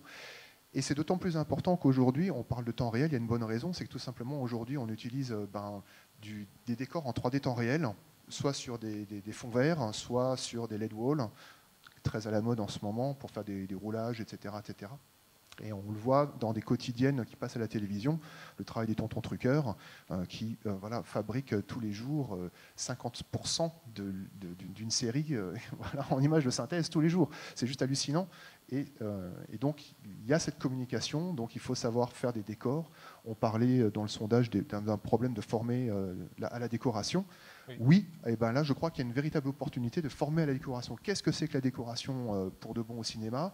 Comment est-ce que ça peut prendre une représentation dans un univers virtuel? Qu'est-ce que c'est que prolonger une perspective par des techniques de matte painting ou de, 3D temps réel euh, Et voilà, qu'est-ce que c'est qu'une extension de décor? C'est quoi le décor en lui-même? Comment on s'en sert? Euh, voilà, là, il y a vraiment des vraies questions où tout d'un coup, on est à la croisée des chemins. Et on est au début on est au début parce que voilà, maintenant on peut se poser cette question et j'en suis ravi. Et voilà. Donc maintenant il faut qu'on mette les choses en œuvre. Donc nous on va le faire à notre échelle et, je pense que c'est le début de l'aventure à ce niveau-là. Oui, je pense que sur ces, sur ces segments de. Pardon, mademoiselle. Euh, sur ces segments de, justement des effets spéciaux, la FEMIS donc n'a pas une, une histoire de, fabrication euh, et de formation aux effets spéciaux, et néanmoins on se rend compte à quel point bah, sur n'importe quel tournage désormais ça fait quand même partie de, des, prérequis, d'où l'idée de sensibiliser et l'idée aussi de travailler avec des entreprises du secteur parce qu'en en fait, euh, on n'a pas les équipements, on n'a pas les professionnels pour. Euh, et c'est vrai qu'il y a des nouveaux partenariats qui se mettent en œuvre pour effectivement bah, changer un petit peu la donne, c'est-à-dire que plutôt que les plutôt que les les professionnels viennent à nous, c'est nous qui allons vers les entreprises. Et, je pense un que ça. super travail sur les décors et même un travail que j'ai vu où vous reproduisez un bout de rue euh, en, physique euh, avec la patine. Alors après, on a un décor euh, cet après-midi. Il y a Anne, Sebel qui est la directrice du département décor qui va venir parce qu'effectivement, par contre, depuis de très nombreuses années, il y a une, il y a une formation décor, alors avec une menuiserie, avec beaucoup de choses physiques, des, des peintres. Euh, et, tous les corps de métier qui vont participer à ça. Je pense que c'est vrai que c'est assez rare en France euh, et euh, qu'elle contribue à former bah, un nombre de chefs décorateurs qui ensuite vont travailler, mais aussi au départ évidemment assistants, tous les métiers du décor. Et nous, l'enjeu maintenant, c'est de savoir comment on intègre justement euh, les, effets spéciaux progressivement. Dans ce... Et c'est pour ça qu'on a besoin là des entreprises pour le faire. Bah, nous, on est en train de faire ce chemin et je serais, je serais ravi d'en discuter. Euh, parce que, bah, non, mais c'est, une, vraie, c'est, une vraie opportunité, hein, parce que nous, nous, la manière dont on enseigne les choses aux étudiants, c'est-à-dire on leur apprend à fabriquer des trucs, et euh, bah voilà, si, quand, il y a un menuisier d'un côté, bah nous on fait de la modélisation. Quand il y a un gars qui fait euh, euh, de la patine, des choses comme ça, bah nous on fait des matériaux, des textures. Quand il y en a un qui fait de la lumière, bah nous aussi on fait de la lumière. Et puis à un moment donné, il faut que ça se rencontre. Ça veut dire qu'il y a à un moment donné du data wrangling au moment du tournage. Il faut que l'ensemble soit cohérent. On prépare le compositing à ce moment-là. Voilà, donc il y a vraiment des rencontres et je pense qu'il y a des savoir-faire qui aujourd'hui sont transverses à ce niveau-là. Et en fait, moi je le découvre. Ben, simplement en, prenant conscience de l'application et de devoir relier euh, ben, des savoir-faire qui sont ben, parfaitement établis aujourd'hui dans le cinéma traditionnel et avec aujourd'hui ce que la, 3D en temps réel euh, doit apporter en fait à tout ça pour le compléter. Constance Monnier, vous vouliez euh, ajouter peut-être quelque chose? Oui, alors moi c'était plutôt pour revenir à la question initiale de, l'ancien étudiant. Effectivement, on peut avoir ce, problème d'endogamie où on se retrouve dans un réseau qui est un peu répétitif euh, avec euh, les mêmes intervenants, les anciens élèves, les stagiaires, mais euh, finalement on arrive à s'ouvrir sur d'autres entreprises, d'autres métiers et d'autres secteurs grâce aussi, et ça il faut le souligner en tant que, formateur, grâce aux étudiants. on n'est pas non plus dans des formations où nos, étudiants sont uniquement des clients à attendre qu'on leur donne la béquille, la bouche ouverte. C'est des formations où on a des, étudiants passionnés qui ont aussi des projets professionnels, surtout en master, euh, qui ont euh, développé une forme de, première approche professionnelle par des stages, des pratiques personnelles, qui ont des passions dans le cinéma ou l'audiovisuel et qui vont aller, alors on va les accompagner, mais vers des nouveaux métiers, des nouveaux secteurs, des entreprises même à l'étranger. On a eu des liens avec, avec l'Allemagne euh, avec une étudiante euh, bilingue qui est partie dans une société de production là-bas. Et donc, ça aide aussi à ouvrir un petit peu ce réseau. C'est pas que nous, hein, il n'y a pas que les profs ou les pros qui euh, faisons le réseau. On a aussi nos étudiants qui nous ouvrent sur d'autres mondes, même parfois du, théâtre vivant, de la danse, des choses étonnantes en lien avec l'audiovisuel et le cinéma. Hein, on a ces profils et ça, on les voit dans le recrutement. On essaie d'avoir un recrutement assez, assez large. On a des anciens étudiants aussi euh, qui sont assez techniciens, parfois de la FEMIS, euh, qui veulent avoir une formation un peu plus administration gestion. On a euh, des, des, étudiants qui sont un peu artistes par ailleurs, et ça permet qu'on ait des projets personnels de, de, production. Et on se retrouve deux, trois ans après aussi avec des anciens étudiants qui sont dans des secteurs assez diversifiés, même si on peut avoir évidemment ce problème comme l'a dit l'étudiant, où on a effectivement quelques intervenants qui euh, ça sécurise aussi une partie de la promo, hein, qui prennent des stages chaque année, des stagiaires sur des, grandes chaînes télé. c'est aussi c'est utile aussi pour nous, pour des étudiants qui ont moins de réseau, qui sont moins matures dans leur projet professionnel et qui vont faire des, parcours de carrière au départ un peu plus classiques. Mais on arrive à s'ouvrir aussi un peu avec des recrutements plus atypiques euh, d'étudiants euh, qui, euh, qui arrivent à se faire leur... C'était un peu dans ce sens-là hein, pour l'ancien étudiant. c'est vrai qu'on peut arriver dans un milieu et avoir aucun réseau, mais c'est aussi à vous de vous le créer au fur et à mesure de votre vie professionnelle. C'est pas toujours facile, mais c'est aussi aux étudiants ensuite hein, d'ouvrir d'ouvrir leur réseau. S'ils ont un ancien camarade qui travaille dans un milieu un peu différent, ils, peuvent aussi continuer à, développer les, liens qu'ils ont eus en, master ou en licence. Euh, et ça leur permet euh, de, changer un petit peu de, de, secteur à un, certain moment ou de, lieu ou d'entreprise hein, s'ils sont, s'ils sont peu satisfaits dans, dans leur carrière actuelle. Je dirais, voilà, ça vient aussi euh, des étudiants euh, voilà, et, du recrutement, du recrutement que l'on fait. Cette euh, possibilité de mélanger un peu les. De ne pas avoir forcément un, seul réseau avec des entreprises qui sont toujours les mêmes qui recrutent nos étudiants. D'accord.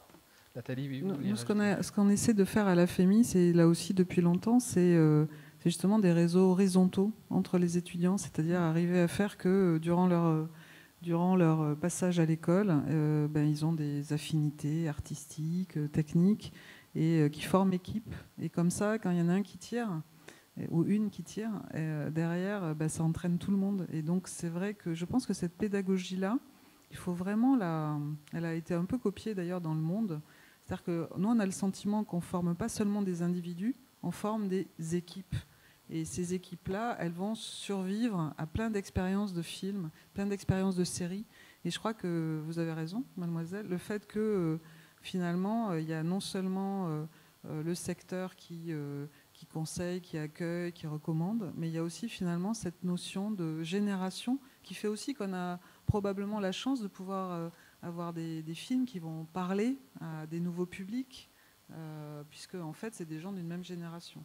Et euh, le fait qu'à l'école, on ait à la fois des métiers économiques, production, euh, des métiers euh, techniques et des métiers de création, fait que tout ça crée une espèce d'émulation générale pour, pour avancer sur des projets de films ou de, ou de séries. Mais c'est important. Justement, Agnès Billard, justement, déjà sur le fait que les étudiants soient plus ou moins actifs dans, dans les recueils après pour les remonter et euh, qu'il participe justement à, une amélioration de la pédagogie, premier point. Et deuxième chose, c'est l'interpénétration finalement peut-être entre le cinéma classique, le cinéma d'animation. Oui, alors euh, euh, au niveau de l'horizontalité, nous c'est pareil. déjà, on, est très à l'écoute des étudiants.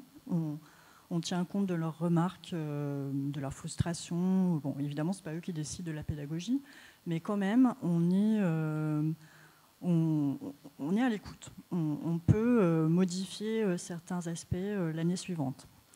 Ça, c'est un premier point. Après, de quoi parlait-on? J'ai un peu perdu le fil. Bah, justement, le, fait que là, on parlait des VFX qui discutent et qui échangent de plus en plus avec les établissements ou avec le cinéma classique. Est-ce que dans le cinéma animation, euh, il y a aussi de plus en plus d'interpénétration avec le cinéma classique. Est-ce que les, profils, les échanges, est-ce que les étudiants qui ont une spécialité animation vont euh, aussi regarder ce que fait dans le cinéma classique pour avoir une meilleure euh, approche de leur propre métier? Moi, je pense que c'est très important d'avoir une pédagogie transversale. Néanmoins, à Gobelin, c'est quand même très spécifique animation 2D. Et les étudiants que nous avons, en tout cas sur le site Le Campus Paris, sont vraiment passionnés de dessin. Donc ils sont vraiment, euh, c'est vraiment leur univers. Maintenant, euh, je pense que de plus en plus, euh, d'une manière générale, dans les productions, il y a un mélange de médiums pour, euh, bah, pour écrire une œuvre en fait. Donc à n'importe quel moment, il peut y avoir une séquence euh, peut-être euh, qui, qui, évoque un rêve ou je ne sais quoi, qui, qui fait qu'on a besoin de mettre de l'animation 2D. Ou... Et puis, de toute façon, même dans des films extrêmement réalistes, il y a de plus en plus d'effets spéciaux, ne serait-ce que pour enlever un pigeon qui passe dans le ciel ou je ne sais quoi. Enfin, il y a toujours besoin d'effets spéciaux. Donc, moi, je pense que ça ne peut que se développer de, ce point de vue-là. Après, au niveau de l'école, pour l'instant, on n'a pas encore vraiment de, mélange entre les, deux euh, formules. On a, un département photographie à l'école. Euh, eux-mêmes font de la vidéo. Et c'est vrai que ce sont euh, deux départements qui, sont, qui, communiquent pas tellement, en fait. C'est d'ailleurs très dommage. Bon, évidemment, les étudiants se côtoient et probablement se, rencontrent. Mais euh, nous, on incite surtout nos étudiants à, collaborer et à rencontrer les autres étudiants des autres écoles d'animation euh, via un réseau qui s'appelle le réseau, des écoles de cinéma d'animation. Et puis aussi, euh, donc on parlait, je parlais tout à l'heure de, notre licence en production. En fait, nos, étudiants en licence interviennent sur les films de fin d'études. donc, et comme tous nos films sont faits en équipe, euh, en fait, c'est une manière aussi de, créer des contacts pour la suite parce que bah, ils se connaissent au moment de l'école, c'est une famille. Et puis après, par la suite, ce seront euh, les producteurs avec qui ils ont côtoyé à l'école qui seront embauchés dans d'autres entreprises, qui vont eux-mêmes les embaucher euh, sur d'autres productions. Donc, donc c'est pas mal. De, ce point de vue-là, il y, y, a vraiment un réseautage horizontal, on va dire, et une communication horizontale. Euh, voilà. D'accord. Et alors, après, il y a un autre sujet qui revient. Mais alors, comme une arlésienne, comme une ritournelle, c'est toujours le, la théorie versus pratique. C'est-à-dire, justement, euh, les étudiants, eux, dans leurs souhaits, souhaiteraient toujours plus de pratique. Parce qu'ils trouvent que, les formations plus professionnalisantes, que euh, la, pratique permet justement, un, de, bah, acquérir de l'expérience, deux, de savoir si euh, ils sont aptes ou pas à ce métier, parce que parfois ça leur peut leur permettre aussi de changer d'orientation. Est-ce que c'est quelque chose, vous, en tant qu'étudiant, que vous, vous, percevez aussi? Est-ce que vous trouvez que vous avez eu dans vos parcours trop de théorie, pas assez de pratique, trop de pratique, pas assez de théorie On va peut-être commencer par Guillaume. Juste pour rebondir sur les, euh, les contacts qu'on se fait euh, lors de nos formations. À l'université, donc en, en licence, euh, étant donné que tout le monde n'est pas encore spécialisé ni fixé, euh, bon, on se fait des contacts, mais pour l'instant, on ne sait pas encore vraiment si. Euh, Contact opérationnel. Voilà, c'est ça. Mais peut-être plus en master. D'ailleurs, à Paris 8, il y a un master réalisation qui est très prisé, et, qui est très bien. On nous accompagne vraiment dans la réalisation d'un court métrage, voire moyen métrage, je crois. Et moi, personnellement, ça a plus été des contacts euh, pour, euh, on va dire, euh, à l'étranger, parce que Paris 8, c'est une fac très ouverte aux étudiants étrangers. Donc, notamment, j'avais des amis qui ont, travaillé et qui ont pas mal de contacts en Argentine, par exemple, ou même en Algérie, où j'ai pu faire la connaissance d'un metteur en scène et même d'un réalisateur, Ahmed Rajdi. Et, enfin bref, c'est très bien pour l'ouverture à l'étranger, à d'autres cinémas. Et euh, ça, ça, a été vraiment un plus. Et donc, euh, euh, d'autres questions Oui, sur la question de l'équilibre entre la théorie et la pratique. Dans, dans, votre justement cursus, est-ce que c'est quelque chose que vous avez remarqué? Est-ce que c'était à bon escient ou au contraire il y avait un déséquilibre ou vous vouliez demander plus de... On était, nous, je crois, une des universités qui proposait le plus d'ateliers pratiques, mais c'était encore pas assez. Vraiment, on avait beaucoup de demandes et pas assez de, stages, pas assez d'exercices de, de, réalisation. On en a eu quelques-uns, mais c'était vraiment euh, de la découverte, c'était pas, pas assez poussé. C'était pas. Euh, et peut-être pas, merci. Euh, moi, je suis globalement satisfait a posteriori, dans le sens où maintenant que je commence à avoir une vraie expérience professionnelle, je comprends aussi pourquoi on a bouffé de la théorie pendant un an et pourquoi ils nous ont pas filé une caméra à 60 000 balles euh, à peine on arrive à l'école. Euh, pour faire simple, euh, je dis sur le ton de l'humour, mais c'est vrai que c'est, je pense qu'on le, enfin, c'est même pas à la sortie de l'école que je l'ai compris, c'est vraiment après un, deux stages, deux fois, deux contrats, trois contrats, où bah, le fait de plus réfléchir ou de savoir que ah oui ça on me l'a enseigné et du coup je l'avais pas utilisé mais là où je me retrouve confronté au moins je sais de quoi on me parle, au moins je sais de. Je passe pas. Enfin, c'est Yo, on est aussi dans un secteur où on, on, on peut très vite être, euh, enfin, se retrouver à ne plus être réembauché si vraiment on est complètement largué. Et le fait d'avoir cette base de théorie, c'est quand même quelque chose à laquelle on, peut se rattraper quand on est confronté à de nouvelles choses. Et euh, autant c'est peut-être pas rigolo quand on est sur place euh, de se retrouver derrière un bureau quand on a choisi un métier d'artisanat, surtout, enfin, personnellement en technique. Autant c'est vraiment un posteriori où je vois l'importance après, euh, là où peut-être je mettrai un bémol, en tout cas pour mon école, c'est que le, il peut y avoir aussi des manques de moyens ou des différences euh, parce que, comme on disait tout à l'heure, la technologie avance très vite et du coup, on peut aussi se retrouver par contre à être formé sur des choses ou euh, théoriques qui sont plus vraies 3, 4 ans après, 5 ans après, ou en tout cas, ça a évolué selon les, pareil, les employeurs. Pour le coup, c'est vraiment du cas par cas. Donc euh, je pense que c'est un peu difficile de faire des grosses généralités. Euh, et puis ça dépend aussi du ressenti de chacun. Euh, voilà. Charles, est-ce que vous remarquez aussi quand vous recrutez quelqu'un qui a un enfin, que c'est bien équilibré bah, Effectivement, ouais, moi je, je, trouve que c'est c'est fondamental. moi j'ai été étudiant aussi il y, a 10 ans, je suis sorti de mon, ma formation, j'étais très déçu de ne pas avoir beaucoup plus pratiqué. voilà. C'est le cas de quasiment tous les étudiants euh, qui arrivent euh, en stage euh, à Polisson. Malgré tout, moi je note que c'est fondamental cet équilibre.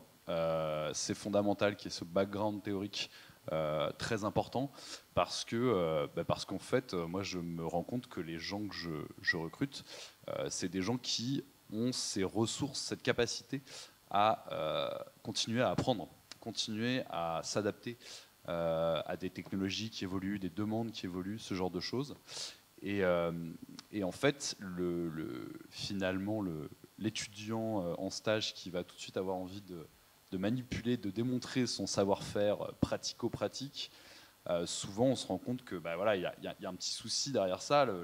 Moi, nous, l'intérêt, c'est vraiment cette, cette plasticité, cette faculté d'évolution et, cette, voilà, cette projection finalement à travers, euh, à travers des outils sans forcément être, euh, être complètement, euh, je dirais, limité à une, pratique pure et simple d'un petit outil technique spécifique. C'est vraiment fondamental en fait, vraiment.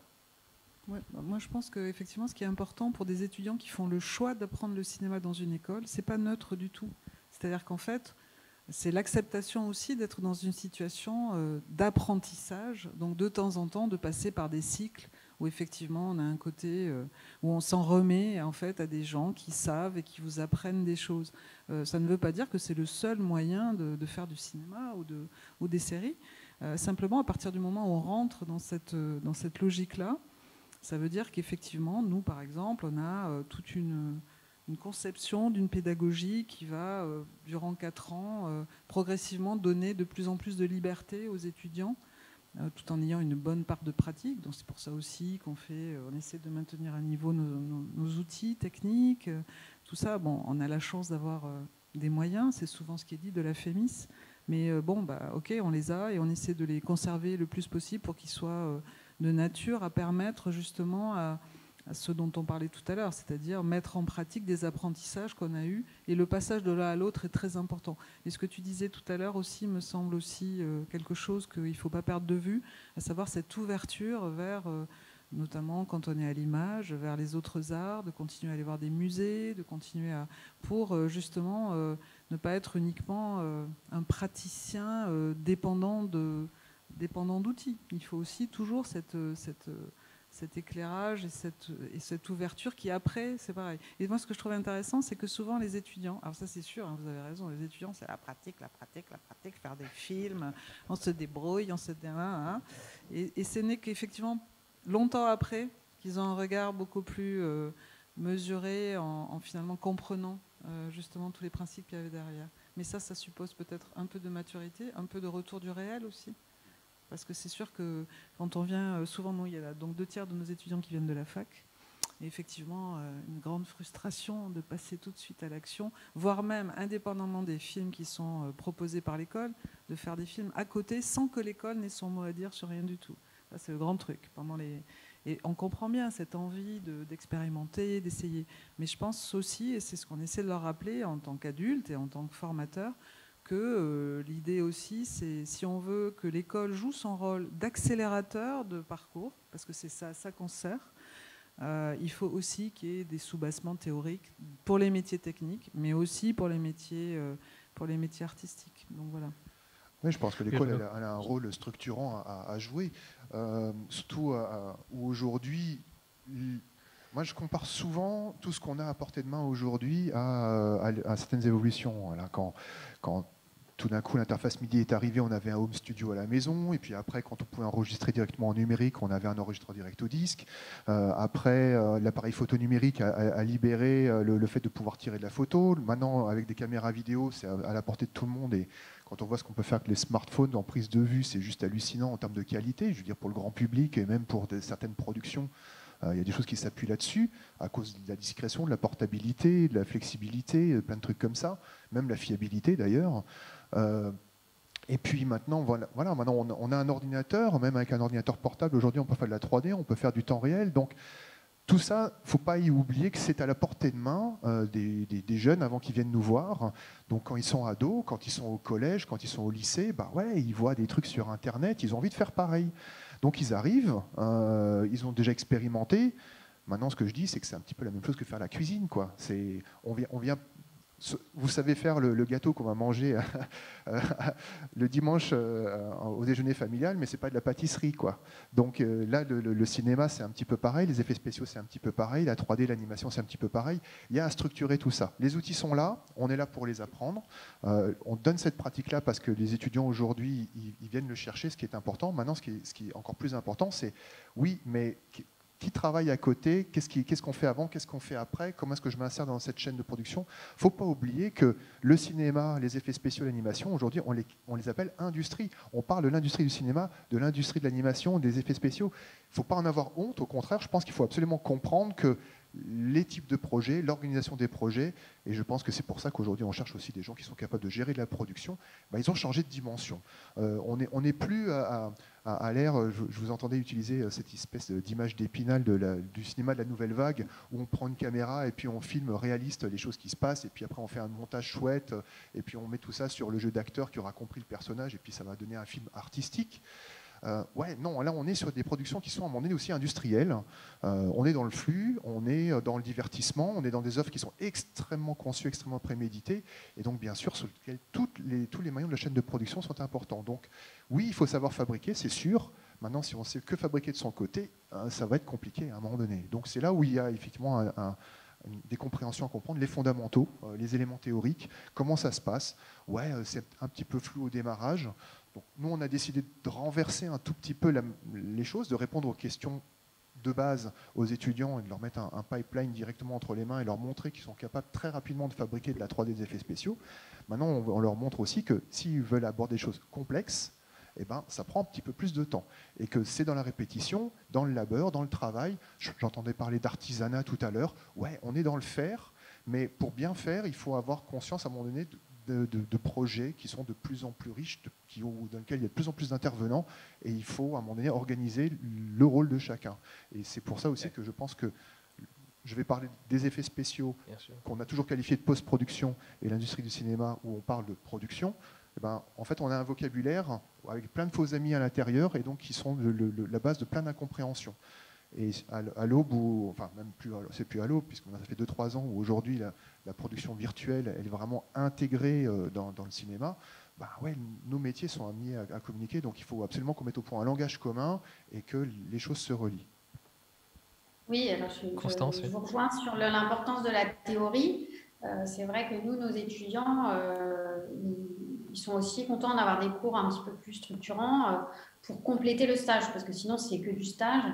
Et euh, ça leur permet, même parfois plusieurs années après, d'analyser une situation, de, changer euh, un petit peu de, secteur. Donc, ils sont. Euh, ils se plaignent pas du tout d'avoir à la fois des cours pratiques, des stages, mais aussi des cours un petit peu plus, un petit peu plus théoriques. Et on a aussi une formation qui est dédoublée en formation initiale, formation continue, Et c'est étonnant parce qu'effectivement, la formation continue, donc c'est parfois des professionnels qui sont dans le cinéma ou dans l'audiovisuel depuis 10-15 ans, qui viennent soit en reconversion, soit pour compléter un petit peu leurs compétences sur ce secteur.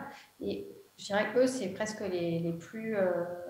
ils ont vraiment envie d'avoir justement des fondamentaux euh, un petit peu plus euh, théoriques, structurés, euh, pour avoir une approche plus globale de leur métier.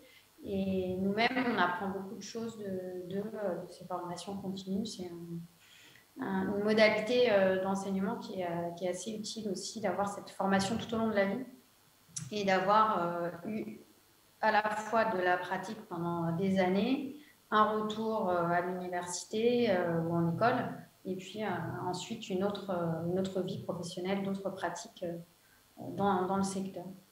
Donc c'est vrai qu'en formation continue, ils ont vraiment ce, cette, double, cette double approche, la pratique qu'ils ont eue, et ils viennent aussi avoir des, fondamentaux théoriques autres. C'est très complémentaire, je suis d'accord avec tout ce qui a été dit là-dessus.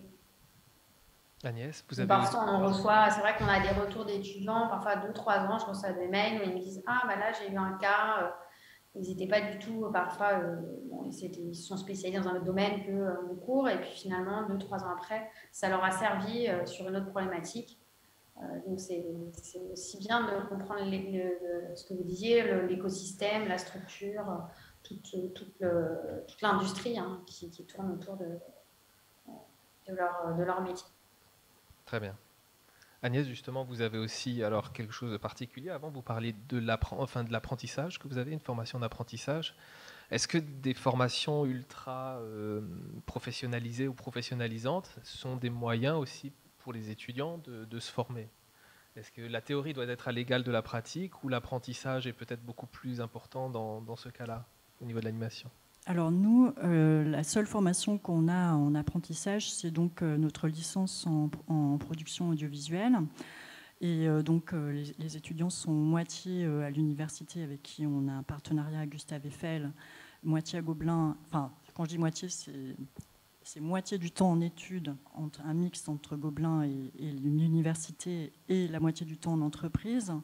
Donc forcément, euh, oui, c'est intéressant parce que d'un côté, ils ont euh, les cours théoriques, la formation euh, dure un an, et en plus, ils sont directement immergés en entreprise et, peut-être même avec un peu de chance, ils seront embauchés à la sortie. Donc, en plus, la formule apprentissage leur permet de financer leurs études. Donc, de ce point de vue-là, c'est super. Maintenant, dans le reste des métiers de l'animation, c'est plus difficile de pratiquer l'apprentissage parce que euh, en fait, les périodes en entreprise ne correspondent pas forcément euh, aux spécialités qu'on enseigne et euh, parce que c'est très lié au, au, timing des productions en fait. Par exemple, nous, on a une formation en animation de personnages 3D. Euh, on, aurait aimé quelque part qu'il y ait au moins une partie euh, des études euh, financées par l'apprentissage et puis qui permettrait aussi une immersion d'entreprise et qui pourrait être intéressante pour les entreprises. Le problème de l'animation de personnages, c'est que au niveau de l'organisation des études et le placement de chaque étudiant en entreprise, il faut trouver le, bon moment, la bonne production qui a besoin d'autant d'animateurs au même moment dans l'année et ça, on ne peut pas prédire on ne peut pas prédire. Et puis une trentaine d'étudiants, ça fait beaucoup. Et euh, enfin voilà, donc ça c'est un autre souci. Euh, euh, voilà. Mm. Et justement, Paul, par exemple, est-ce que vous avez été satisfait de vos périodes de stage et des entreprises dans lesquelles vous étiez, etc. globalement, oui.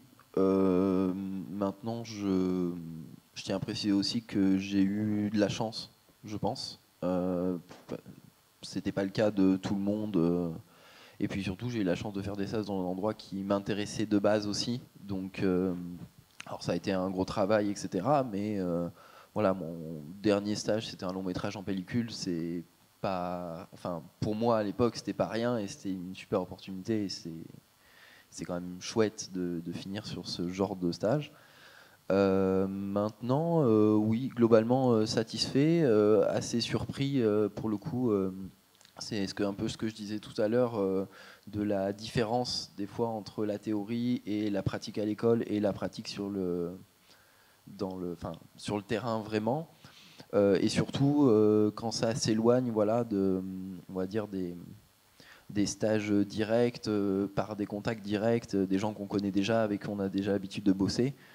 Quand vraiment on se retrouve sur des, des, choses totalement différentes, où on découvre, c'est là où c'est le plus, à la fois le plus dur, mais je pense le plus formateur, et ce qui donne le, en tout cas, moi, ce qui m'a fait le, ce qui a donné les plus grandes ouvertures d'esprit euh, euh, professionnellement euh, que j'ai eu, voilà, de ce que j'en tire. Mais je dirais que c'est beaucoup lié à l'aspect circonstanciel de ces métiers aussi, puisque en fait, en tant qu'intermittent du spectacle, les, les, personnes qui travaillent dans cette industrie sont obligées de rebondir sur différentes productions dans différents contextes, avec différentes équipes de travail, euh, d'autres méthodologies. Donc il faut avoir une grande flexibilité euh, euh, d'esprit, une grande capacité à s'adapter, à s'intégrer d'une manière fluide avec d'autres personnes. Et c'est sûr que ça demande beaucoup de réactivité aussi et de souplesse. Et Charles, de votre côté, est-ce que vous avez déjà accueilli des stagiaires ou est-ce que c'est une pratique que vous souhaitez faire? Alors nous, on, accueille des, stagiaires tous les ans, on doit en accueillir une bonne dizaine, voire une quinzaine, juste pour le son, donc pour l'image, ça doit être cinq ou six. Euh, on a deux, il y a deux fonctions finalement fondamentales, en tout cas pour nous, c'est assez, c'est assez égocentrique, mais il y a, d'abord il y a une première fonction, un premier stage finalement qui va durer au maximum en général quatre semaines, qui vraiment, euh, euh, aura une vraie fonction pédagogique, c'est-à-dire que nous on va énormément prendre le temps d'échanger euh, et de transmettre aux étudiants. ces, stages, là ils sont intéressants pour l'étudiant parce qu'il va se confronter évidemment à l'univers professionnel et, à ses intervenants. Il va créer du réseau. Euh, ça c'est évident. Et puis nous, bah, finalement, ça entretient une sorte de, je dirais, de, pool comme ça, de connaissances de gens qui euh, peut-être un jour travailleront avec nous. Et puis il y a la deuxième, euh, la deuxième partie, c'est quand on rentre dans des processus de recrutement. nous, on passe énormément par des stages aussi pour, pareil, d'un mois maximum pour finalement évaluer les gens, savoir si on va travailler avec eux. Nous, ce qu'il faut savoir, c'est que nos, les salariés au son, en tout cas les techniciens du son, euh, c'est euh, aujourd'hui sept techniciens, ils sont tous issus directement de la formation. Ils n'avaient pas ou peu d'expérience professionnelle préalable. Euh, et on les a tous recrutés avec par le biais de stages de, fin d'études.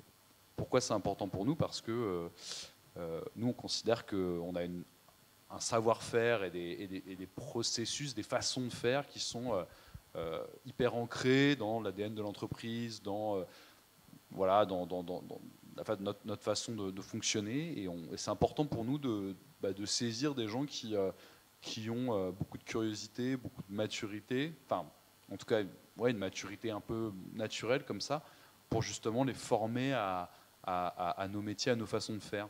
Et c'est, on est assez satisfait de tout ça parce qu'aujourd'hui, c'est, voilà, l'essentiel, c'est même quasiment l'essentiel de nos, de nos salariés. Euh, moi, ce que je trouve pas du tout évident, c'est euh, la durée des stages, en fait. Parce que dans notre école, en fait, on, autorise les, étudiants à être en stage uniquement pendant les périodes scolaires. Donc, du coup, euh, durant l'année, ça fait des stages de 15 jours et ils se retrouvent tous à chercher des stages au même moment. Et puis, sinon, après, les grandes vacances, c'est deux mois et je pense que c'est pareil pour bon nombre d'écoles. Et ça, finalement, c'est souvent un souci de faire matcher, enfin, fait, qu'il y ait une concordance avec les nécessités de l'entreprise et, euh, nous, notre volonté d'insérer les étudiants euh, dans la vie professionnelle puisque c'est pas, ça tombe pas forcément, au même moment. Et souvent, les entreprises euh, ont besoin d'une personne pour plus longtemps, pour des périodes plus longues, pour bah, peut-être avoir le temps de former euh, cette personne euh, un petit peu plus, euh, l'intégrer davantage et peut-être éventuellement pour que ça débouche sur une embauche. Mais en tout cas, c'est les, soucis qu'on rencontre. Très bien. Et aussi, on aurait peut-être un combat commun à mener, à savoir, je ne sais pas ce que vous en pensez, mais le fait de, de pouvoir, en dernière année, aller jusqu'à la fin de l'année scolaire pour permettre, en fin de, en fin de, de cursus, d'avoir un d'avoir un stage qui peut effectivement être déterminant pour, euh, pour euh, bah, choisir son entreprise, alors que, alors que nous, ça s'arrête avec, avec le diplôme. Pareil, chez nous aussi. Non, bah, légalement, nous, nous, on a changé et c'est possible. Hein, parce qu'on peut signer des conventions de stage jusqu'à décembre. de l'année après le, Master 2. Donc souvent, ils font des stages au moins de 6 mois. On les lâche tôt, hein, en avril-mai. Et, ils ont une convention qui est signée jusqu'à l'année calendaire, pas l'année universitaire. Donc ils peuvent aller jusqu'en décembre. Ce qui est quand même assez pratique. Ouais. Alors après, ça fait des remises de diplôme un peu décalées en janvier, mais bon, c'est pas. Ils préfèrent. Euh, mais on a eu ce problème à l'université, même dans d'autres diplômes, pas que les diplômes audiovisuels ou cinéma.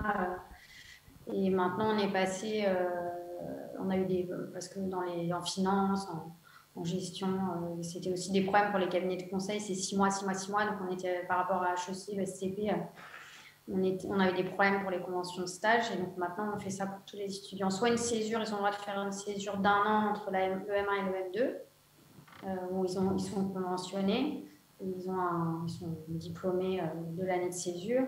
Soit en fin de M2, ils peuvent aussi euh, signer, être couverts jusqu'en décembre. Donc après, je ne sais pas techniquement si ça vous intéresse, je peux demander à la responsable des stages comment comment ils ont fait pour obtenir ça auprès du ministère, mais c'est possible.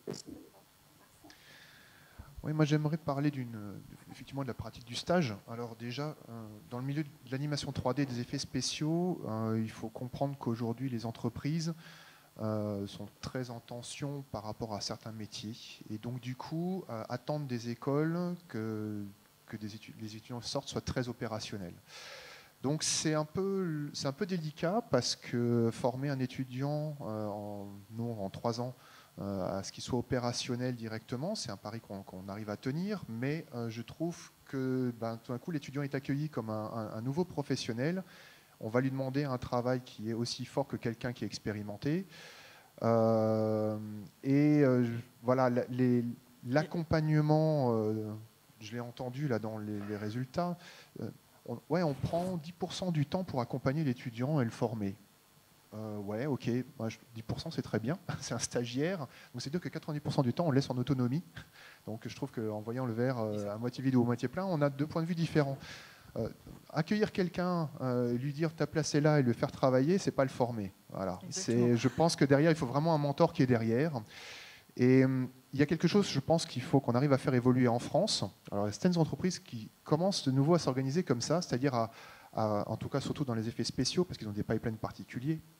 Euh, euh, certaines sociétés ont des logiciels qui, sont, qui leur sont propres, donc ils accueillent les étudiants et ils les forment pendant un mois pour les rendre vraiment opérationnels sur leur chaîne de production. Donc là, c'est vraiment un temps que l'entreprise investit à former des jeunes diplômés pour qu'ils soient opérationnels chez eux. Et ils prennent, aussi le risque que ces étudiants ne restent pas, parce que comme ils ont envie de bouger, ils ont envie de cumuler plein d'expériences professionnelles au démarrage, bah oui, donc ça veut dire que le pari, c'est effectivement de, prendre peut-être 3, 4, 5, 10 personnes, euh, je ne sais pas, sur, des, sur, une session de formation, de les former euh, sur le logiciel et puis d'en voir peut-être quelques-uns partir, euh, voire même les meilleurs sur lesquels ils comptaient aller dans une autre société, souvent dans une société anglo-saxonne. Il y a un truc qui, est quand même assez fou depuis très longtemps, et moi ça m'a toujours frappé, c'est la différence de nom entre le stage en France et l'internship dans les pays anglo-saxons. L'internship dans les pays anglo-saxons, c'est on accueille quelqu'un pour le former dans une société. C'est pas simplement on, on, le met en activité pour voir s'il est capable de réaliser les choses. Donc quand des grosses sociétés d'effets spéciaux, par exemple, disent ouais tiens on a une session d'internship qui tourne tous les trois mois. D'abord ils se rendent compatibles avec les rythmes scolaires des différentes universités dans le monde entier. Et en plus, ben, euh, ce sont des, des, internships qui effectivement peuvent durer 2, 3, 6 mois. Euh, et ils accueillent des gens du monde entier voire même maintenant ils le font en distanciel. Donc il faut que vraiment les sociétés prennent ça en compte pour les former et ensuite bah, les avoir chez eux, euh, même sur des métiers entry, hein. donc c'est des, postes de, de, juniors sur certains, vraiment des postes de, base de, tout ce qui est prep et ce genre de choses, bah, ils font cet effort-là. Voilà. Et euh, je, pense que c'est quelque chose qu'il faudrait qu'on arrive à, mettre en place chez nous. Alors je sais que nos sociétés sont un peu plus en flux tendu que certaines majors aux États-Unis, mais malgré tout, si on arrivait à faire cet effort-là, euh, on, aurait une meilleure euh, euh, retenue de nos talents.